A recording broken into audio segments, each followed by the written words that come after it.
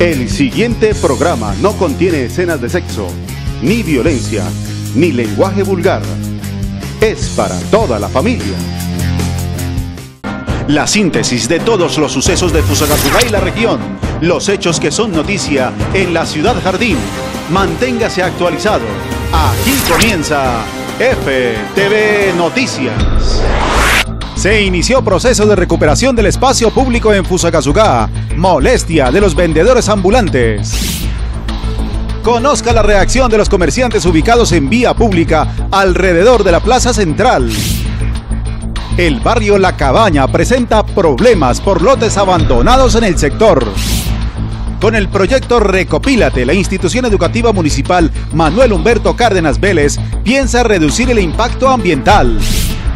¿Piensa celebrar el Día de Amor y Amistad? Encuesta del día. Lo más comentado en las calles y redes sociales del municipio con Chismundo. Esta y mucha más información solo por FTV Noticias. Hola, ¿qué tal amigos? Sean bienvenidos. Hoy viernes 16 de septiembre del año 2016 se iniciaron los procesos de recuperación del espacio público en el municipio por parte de las entidades encargadas. Para el presidente de la Asociación de Comerciantes de la Plaza Central Mayorista de Mercado, es indispensable lograr la libre circulación de los compradores tanto afuera como adentro de las instalaciones de la plaza, y por este motivo solicita se reubiquen los vendedores que obstaculizan la vía pública.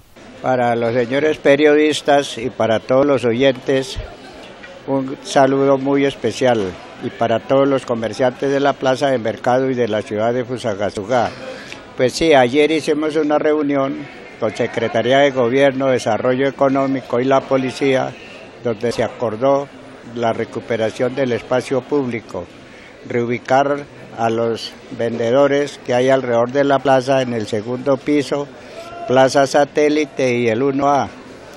Y queremos de que ellos mismos, los señores vendedores ambulantes, miren de que afuera sufren las inclemencias del tiempo como el sol, se les dañan los mercados, que se reubiquen tranquilamente. Acá en el segundo piso hay espacio en la plaza central, que nos acompañen, que hagamos un mercado grande, que hagamos una plaza hermosa y bella, que lleguemos a tener la mejor plaza del país, ya que la región del Sumapaz nos produce los mejores artículos en comida de Colombia, es lo mejor que tenemos en el país. la idea es eh, organizarse.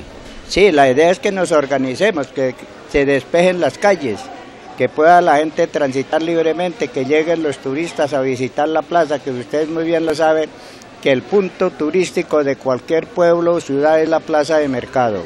Es donde primero llegan los turistas.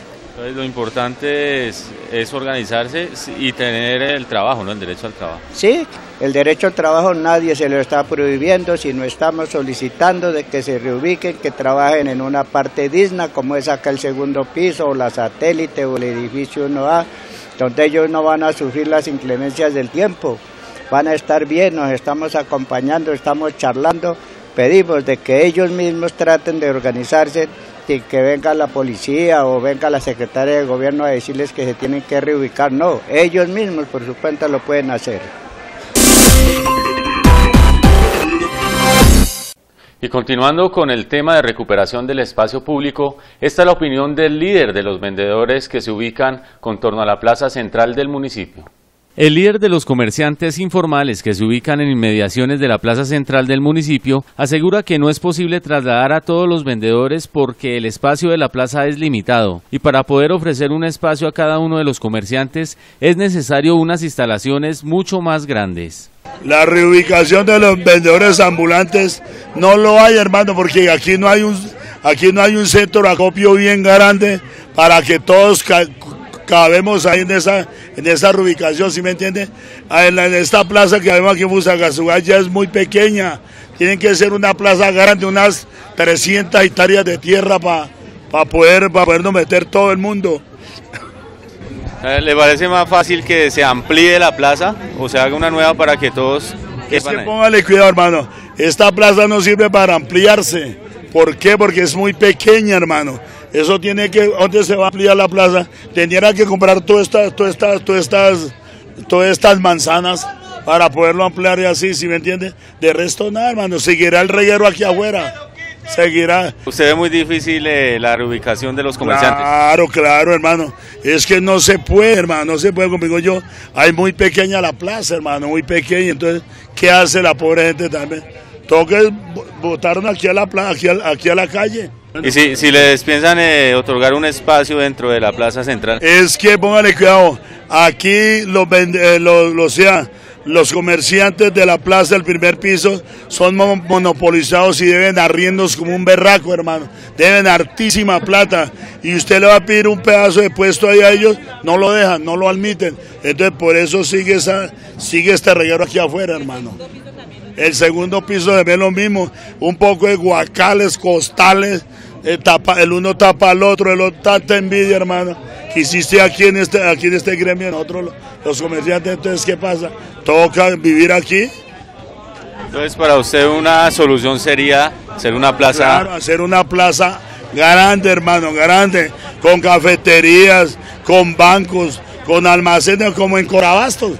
Usted vea, usted fuera a la plaza de Codabas en Bogotá, esa es una plaza a un solo nivel, de como de uno de 1.20 de alto o un metro. Yo estaba allá y eso es 1A, es una rechimba, hermano. Usted se para acá y eso ve usted a dónde quiere ir a comprar, allí o allí o allá, así, hermano. Eso digo yo, ¿no? Porque si no, esto sigue esta problemática. Sigue la problemática aquí nosotros, aquí regados en la calle.